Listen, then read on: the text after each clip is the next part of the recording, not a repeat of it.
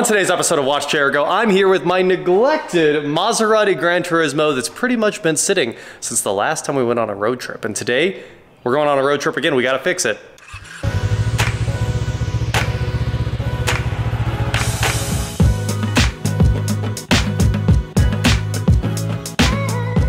What is going on, guys? I am WatchJRGo, and I'm here with 100% Jake, who is just mind blown by Walker I've never seen hydrostats outside of anything You know, before. what's funny is the hydrostat is only that little bitty section. That's Yeah, the rest is just a gear reduction. Yeah, it's just just the.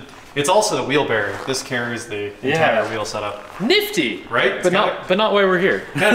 we are here for my. I uh, I think it's 2008 Maserati Gran Turismo that needs its fuel smell fixed. what is this year two? Uh, give or take. No, I've had this thing for a little bit. It still has the gas smell. We fixed everything else on it, but after sitting for a while, it's very upset, and uh, we need to fix a bunch of things. I actually don't know if we have time to fix the gas smell because we need to get on the road. But one of the things we need to fix before getting on the road is a safety issue here. So let's jump in here. So when you're driving, you're uh, ripping along, having some fun on some trails, and all of a sudden, you know, you hit a bump, and the sun visor falls right down in your face, and it happens all the time and it's become really annoying. Sometimes it'll kind of stay like that, but for the most part, the hinge is trash. I'm not gonna spend a thousand dollars on a new sun visor because it's wild for a car that's worth, you know, that's that's probably half its value. Let's be honest.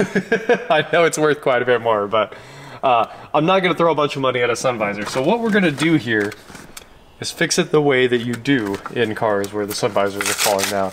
We got ourselves some Velcro buttons. Look at that, we only need one sheet. And let's do, which way should we do it? Nice side on here or nice side up there? I would do nice side on the part that's replaceable. Yeah, that's a good call. I like what you're thinking. I like the way you're saying that. So what we're gonna do is put one of the gritty parts right here and one of the gritty parts right here. You're gonna hit the gritty? How do I forget how you do it? yeah, I, Is it something like I that? I know the term. I don't know the dance. Look, man, we're not TikTok stars. I'm not that online. we we don't understand the TikTok the way. and then uh, I'm gonna go ahead and cheat and put the other side on here like so, just a little bit, so it's lined up. Ha- Harvard give this man a scholarship. That's right. this is a high-end positioning system. Okay, and then we'll just put this up here like so. Homelink even works. Oh yeah, look at that. That's the reason I don't want to replace this thing. I bet Homelink adds a bunch of money on a Maserati. Okay. It didn't stick. I'm gonna have to help it stick. I think our homebrew visor solution is gonna work great. Um, many of you probably wonder why I didn't use the squares or cut my own, but these look good, and it needs to kind of look. It needs to look a little bit like Ferrari might have done that. And Velcro, Velcro is a very Ferrari solution. All right, look at that.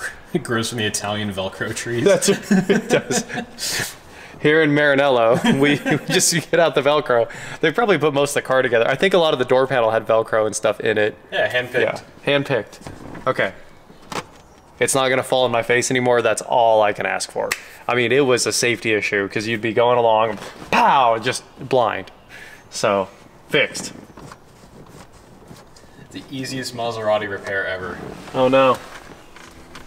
And the radar detector fell down. That's not good. Use some Velcro, quick. We're gonna Velcro.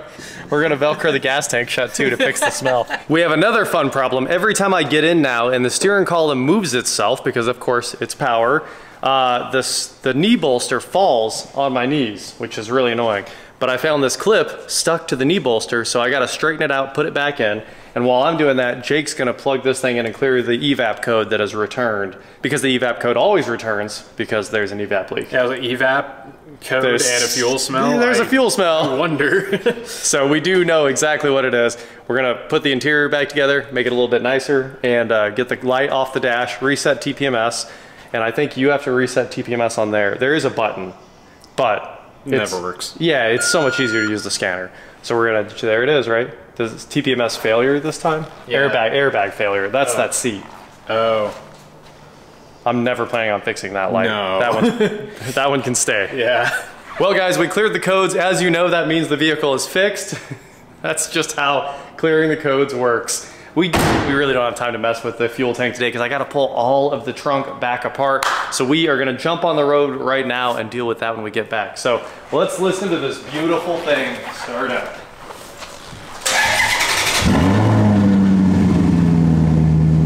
Hey, tank of fuel. We checked the tire pressures, reset TPMS. Everything should be pretty road trip ready here. And then uh, what was, I, I fixed the knee bolster too, and the sun visor. We fixed a lot of things in 20 seconds. So I put the clip back in place, snapped everything back together.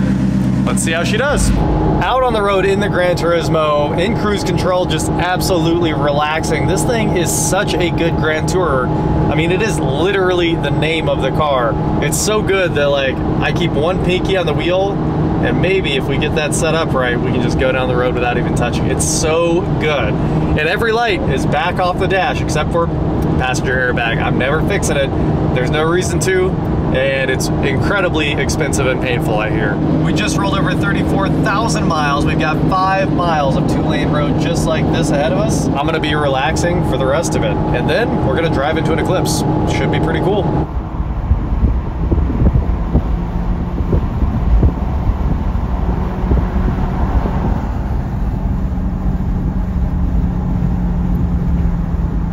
Guys, we're up here in Eureka Springs for the eclipse on the Maserati, and if you can't tell already, my head is in pain. We've been out having a great time.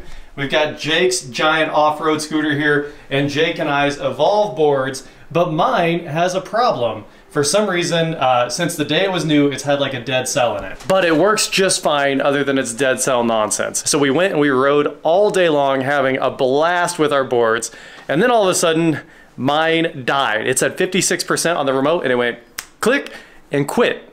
So I jumped on Jake's and he's on the scooter and I'm carrying my board. These boards weigh like 50 pounds too because they have massive batteries in them. And I make it like miles back home with his board carrying all of it, just doing so much work, carrying like you know, almost 200 pounds, 150 me plus another 50 on it. Crazy what that thing was doing. And then there was one more hill before we got back to the house here, and I wrecked. And I wrecked so bad that I don't think I'm gonna do anything. I mean, I'm gonna try to drive tomorrow, but we're not doing anything else. We're not talking about the Maserati anymore. We're just talking about what doesn't look like much. This hand, my head, my arm that I can't move anymore, and this hand and my knee, and the fact that I went all the way through my new pants, and this is totally bleeding underneath. It's, uh, it's a lot of pain. So that's the end of my Maserati video. I can lift my arm this way. I just can't lift it this way. This is just extreme pain. The worst casualty was the glasses. Oh, my Ray-Ban Metas. Some of you guys mentioned this in the last video. They were like, I hope Ray-Ban is sponsoring you. And they're absolutely not. It took me almost three years to make this purchase. I just did not want to do it because, you know, it's they're not that much more than normal Wayfarers. But they are, of course, the Wayfarers with the cameras in them, and they're awesome. The polarized ones, too, exactly what I wanted. I finally got them. And the glasses hit the ground, and they are finished. Completely done. Uh, the batteries are in the temples, so since the temple broke off, uh, and it uses this crazy ribbon cable. I mean, I you know what? That is just the battery, isn't it? I, I can't tell if that's Well, it's- 16 contacts. It's got to be the battery and the speaker to bare minimum. Oh yeah, it's like 24 contacts in there, isn't it? It's done. It's it's so done. Oh, I see. It's a Yeah. ZIF uh, As if connect. connector. Yeah.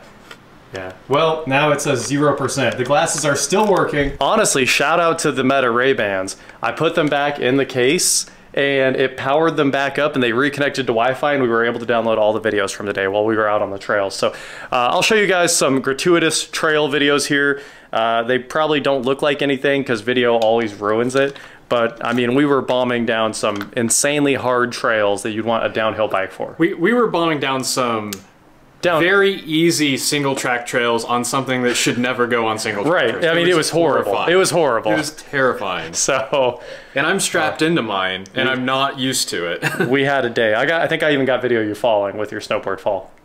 I wish I would have got video of me falling because then it would have been worth yeah, it. it's it's like the tiniest little fall ever, but now my elbow is just dead. I can't even lift my arm. Meanwhile, the two-wheel drive scooter was insane. The scooter was perfect. That is it for today, guys. Thank you so much for watching. Don't forget to head on over to shop watchjrgo.com for cool shirts, not like this. This shirt's ruined. There's holes in my hoodies. There's holes in all of my clothes. I ruined every single clothes I was wearing. That's that's the right way to put it. There's holes in the shoes, holes in the hoodie, the shirt's black, holes in the jeans. It's all done. Please like, share, subscribe, do whatever you want to do, and I will talk to you next time. And maybe we can still get a little bit of video of the eclipse in there, but we have a lot of video of having fun up here. It just ended tragically. We've decided to do the sketchiest thing in the world. We're taking the Lord's Prayer down, back to town. You can see Jake and Amber up there. Oh man, he's doing the snowboard jumps to get around. Jake took his Evolve and put snowboard bindings on it. Oh, and now he has snowboard fallen, which is a problem. This trail is awesome!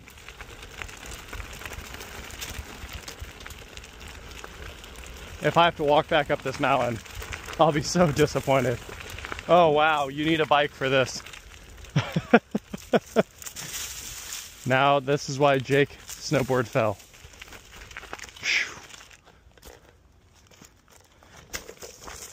The map said this trail was gnarly.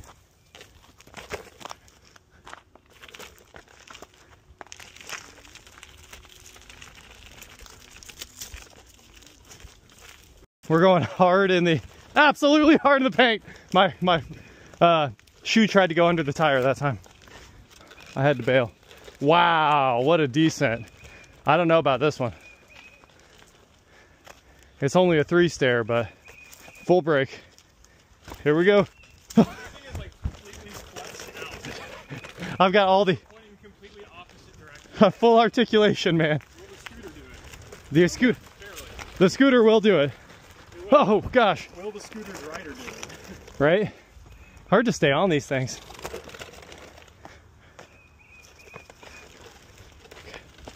Here we go. I can't do a one step even. I could just send the board. Get some air. Oh.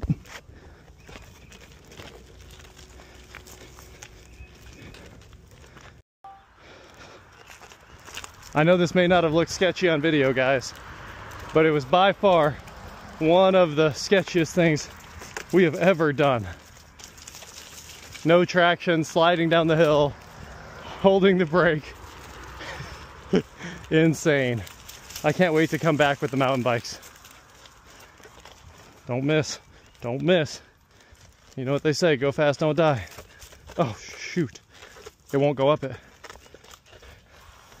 Okay, forget it. I'll just send it.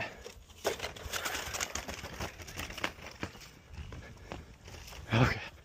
Hey, you made it! How did we take the trail and beat you? So the trail I ended up on is a black diamond. Oh, black diamond. It sucks to walk. Double black diamond. Oh, I can't believe we made it back to the road. Also, I think I'm just gonna get off and send it. And we are back home with the Maserati after the trip, and I can't wait to get back to work on it. Unfortunately, my arm is incredibly messed up. It's pure pain. I can't really bring it over the front. I can only keep it like here and kind of up here. So it's gonna be a little while before I can actually lift it up again. So I'm, uh, I'm a little bit out of commission at the moment. But We'll get the fuel tank thing fixed and that's it. That's the last thing we need to mess with on the old Gran Turismo. What a great car. The Eclipse trip with it was an absolute blast. Also this week we have to learn how to build a garage door header, something literally no one knows how to do. Like apparently only framers know how to build garage doors. So we're about to start making the next video, which is no one knows how to build a garage door, but we have to do it because oh, we've never done it. No one we've talked to will do it. The brick guys said no. Oh well.